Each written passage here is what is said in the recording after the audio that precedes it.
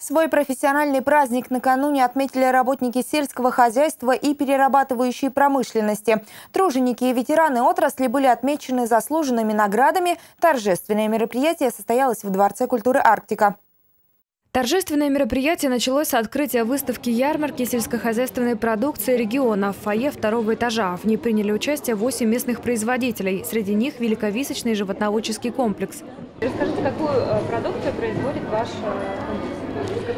Молоко, сметана, масло, творог. Это все у вас? Это все у нас, да.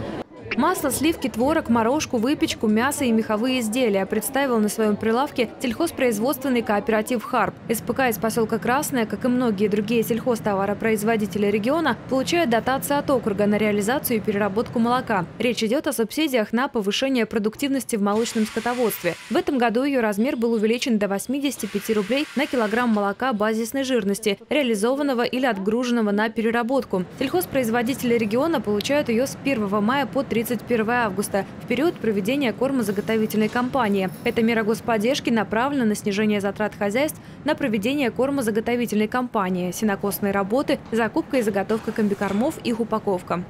Это очень хорошее подспорье, потому что мы на эти, эти денежки сумели провести без, э, как говорится, без сучка и задоринки сенокос. Закупили запчасти, закупили комбикорма, э, все проплатили уже. И еще в планах вот на закупку э, необходимо сельхозтехнику еще закупить. Трактора.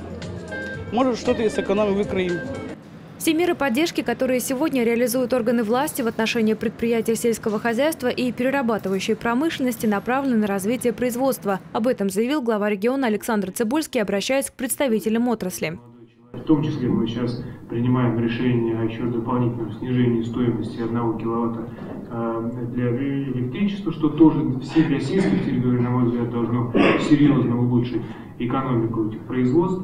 Мы хотим сейчас рассмотреть вопрос дополнительной субсидии по транспортировке продук готовой продукции из сельских населенных пунктов э, в город Наридмар для того, чтобы снять максимально эти вот э, такие ограничительные меры, которые в силу специфики нашего региона сегодня лежат на сельскохозяйственных предприятиях, забрать это на себя и тем самым позволить вам работать с большей выгодой и строить перспективные планы на развитие.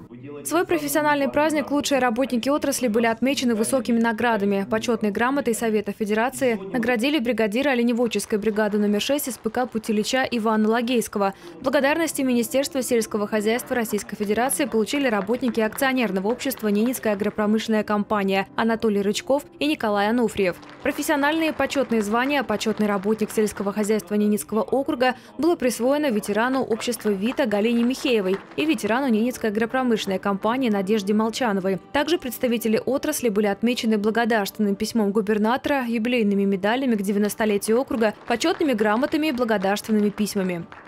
Ирина Никешина, Дмитрий Лукевич, телеканал «Север».